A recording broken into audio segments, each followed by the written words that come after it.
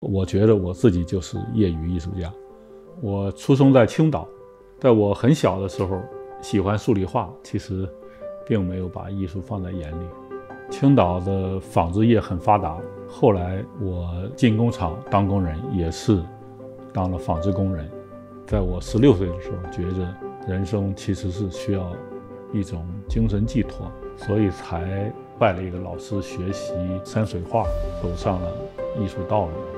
当然，到一九七七年大学恢复招生，到报名的时候选的专业，我选的是雕塑，因为那时候我已经有了七八年的当工人的经历。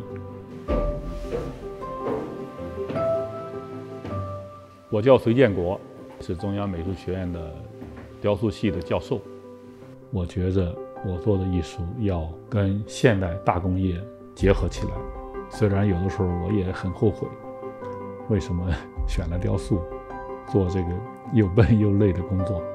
但是，一旦完成工作，展览开幕，也就把这些苦和累全都忘记，沿着这条路走下去。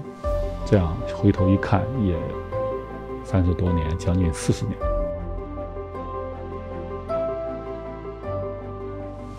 从我个人和我的艺术这个角度来说，我觉得我从八六年来北京，应该说是正好赶上了中国现当代艺术发展最迅猛的一个阶段。我作为一个三十多岁的年轻人来到北京，那么参与其中，锤炼了我的人格。也形成了我自己的艺术语言，应该说是我生命历程当中最重要、最难忘的经历吧。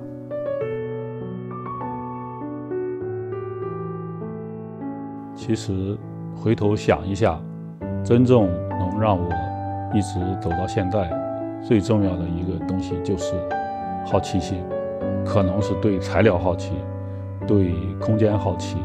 甚至到后来是对时间的可能性的好奇，一直引导着我寻找新的工作方法，寻找新的媒介，去不停的寻找新的目标，啊，慢慢的靠近雕塑的核心。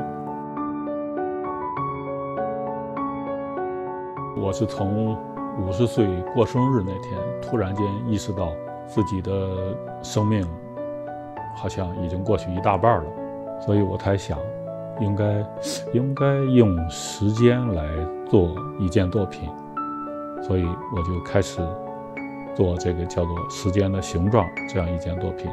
不管是什么油漆，它都是要经过二十四小时才能涂刷第二遍。所以我想，如果用油漆来完成一件作品，就可以每天做一次。开始是拿了一根不锈钢丝在油漆瓶里蘸了一下。然后每天一蘸，每天一蘸，到现在已经接近十四年。它的分量已经将近二百斤。这个作品对我来说，就是每天去涂刷一次，就意味着今天又可以确认下来。所以这个作品从此之后就伴随着我的生命。我每活一天，它也就完成一次。呃，我觉得它的完成，彻底完成，应该是，也是我的生命完结的时候。在整个中国当代艺术圈子里边，真正工人出身的艺术家并不是很多。在一个工作当中，跟社会打成一片，还是一个不可缺少的经验。所以，深入到社会最基层当中去。跟这个社会同呼吸共命运，我觉得是每一个人，包括每一个想成为艺术家的人，应该考虑的。